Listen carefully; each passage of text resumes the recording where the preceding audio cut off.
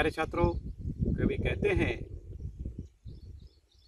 लघुतान अब मेरी छू, तुम ही महान बने रहो। लघुतान अब मेरी छू, तुम ही महान बने रहो।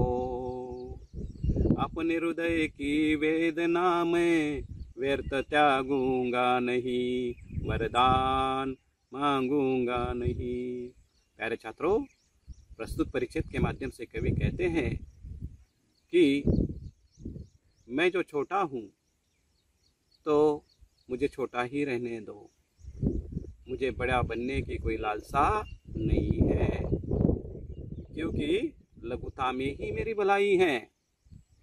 लघुता ही मेरे लिए सब कुछ है। आप यदि महान बनते हो तो बेशक आप महान बनो। मुझे महान बनने की भी कोई लालसा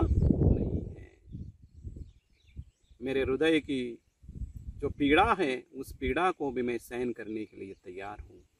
लेकिन मेरी पीड़ा कम करने के लिए मैं किसी से मदद की लालसा भी नहीं चाहता किसी से मदद की अपेक्षा भी नहीं करता किसी से मदद नहीं मांग सकता।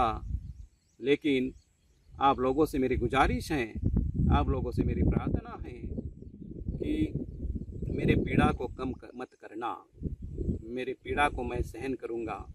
कवि एक बात और कहते हैं, मेरे लघुता का उपहास भी आप मत उड़ाना, क्योंकि इससे मुझे पीड़ा होगी, लेकिन वो पीड़ा भी मैं सहन करने के लिए तैयार हूँ।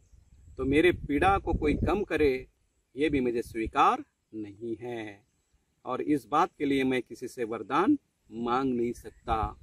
यही बात कभी समझाना चाहते हैं प्रस्तुत परिचय के माध्यम से। नमस्कार।